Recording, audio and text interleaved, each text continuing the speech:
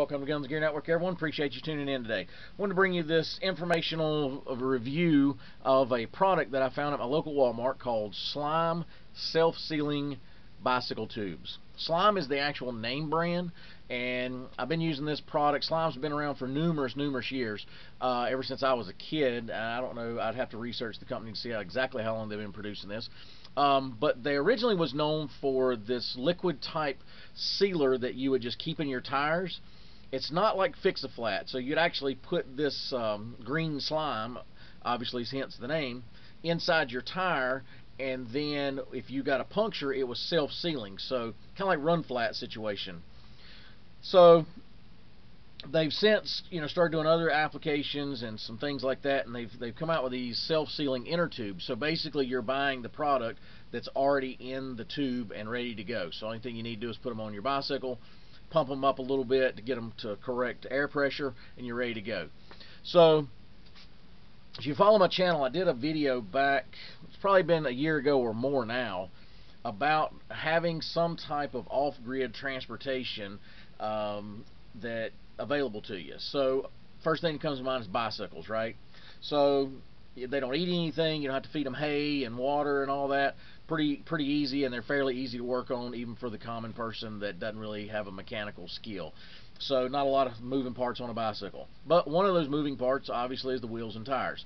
So nothing can get you stopped quicker than a flat tire, even on a bicycle. have a flat on a bicycle, you just can't go anywhere.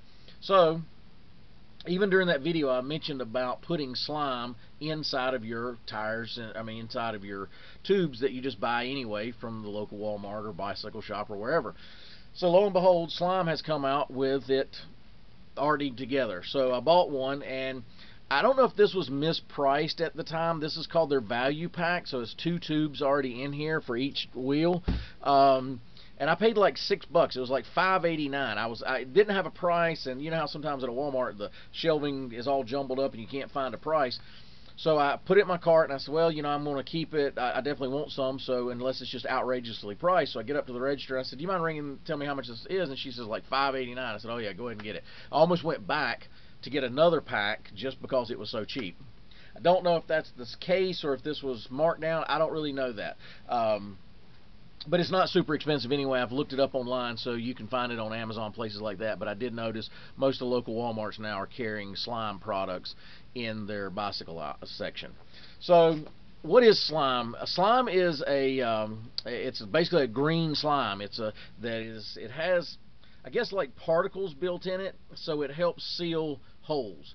So you can create almost a run flat style tire in about any application except for road use. And the only reason you can't really use it on the road at high speeds is because the liquid inside the inner tube would, um, or your tire would actually cause the um, balance to be off. So any off-road use that you're kind of going slow. So your ATVs, your side-by-sides, your you know trailers, off-road type trailers, bicycles, lawnmowers, things like that. Something like this works great, and I've used it in a lot of different applications. ATVs, um, my lawnmower, bicycle tires, whatever.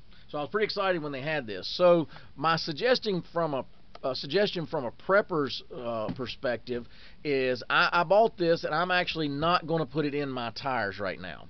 So I'm going to buy like a couple boxes and just put them back. Now you do run the risk because two things when you hold things for a long period of time like this, all rubber will eventually dry rot. And then the other thing that concerns me is would the slime material itself change somehow? Would it get hard? Would it get, you know, doesn't work anymore? So I, am kind of running a little bit of a risk just putting this on a shelf and saving it, right? But I would definitely, if you're going to have a bicycle as a mode of transportation, potentially during an off-grid situation, I would have at least, you know, a couple extra sets of, uh, you know, have some fresh tires on it and then make sure you have maybe an extra set of tires or if you've got your tires that you replaced and they wasn't dry rotted but yet maybe they were just worn down a little bit but they were still holding air fine keep them as a spare backup. But I would probably have at least one or two pair extra of bicycle tires and tubes that fit your particular bike and the reason is if in a long extended period of grid down let's say you had an EMP type situation and the grid was down for months possibly you know a year or better and you needed to get around, obviously a bicycle is going to be a lot quicker than walking. So that's why you know you want some uh, backup parts, maybe even an extra chain. It's no different than your car.